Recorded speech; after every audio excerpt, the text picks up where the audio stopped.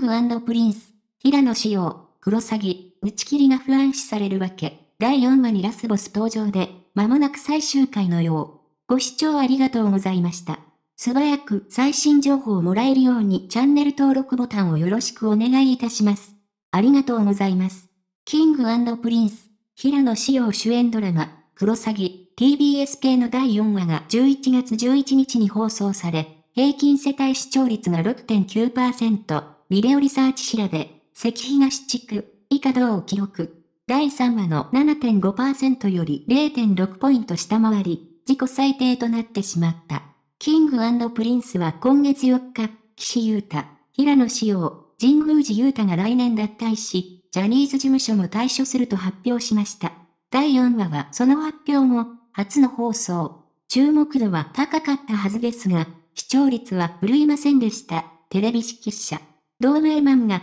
小学館が原作の、クロサギは、詐欺によって家族を失った黒崎高志郎、平野が人生をかけて詐欺師に立ち向かっていく物語。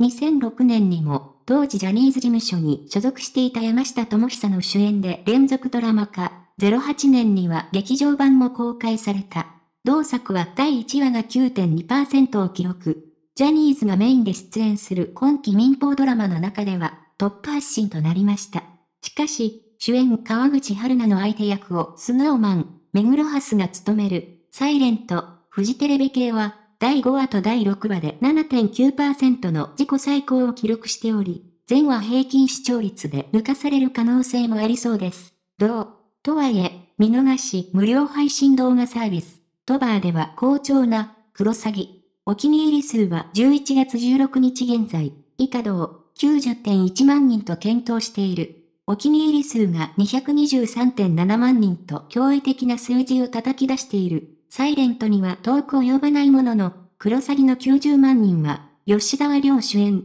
PICU、小児集中治療室、80.2万人や平、成、ジャンプ、山田涼介主演、親愛なる僕へ殺意を込めて、71.7万人、共にフジテレビ系を上回っています。ネット上では、クロサギが紫輝くの演技を見る最後の機会になるかもしれないと危機感を募らせるファンもおり、今後、さらに注目を集めそうです。どう？しかし、ネット上では、放送回が少ないのではないかと不安を口にするファンの姿が見られる。というのも、第4話では、黒崎が詐欺師、白石洋一、山本浩二から得た情報をもとに、かつて父に詐欺をかけた重く本、坂東彌十郎の会社を調査。すると、思わぬきっかけで重く本へつながる道が開けることとなりに、ついに黒崎は6年ぶりに宿敵重く本と再会する、という展開だったが、第4話にして主人公がラスボスに行き着いてしまったため、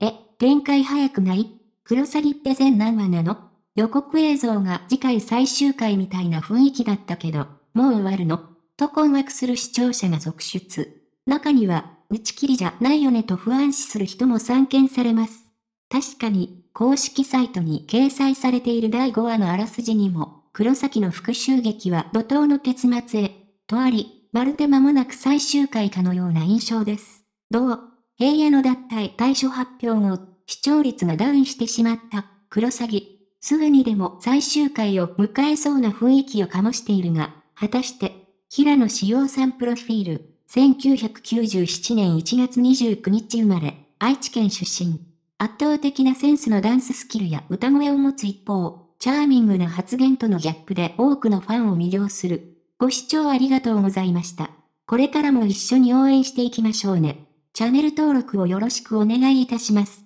チャンネル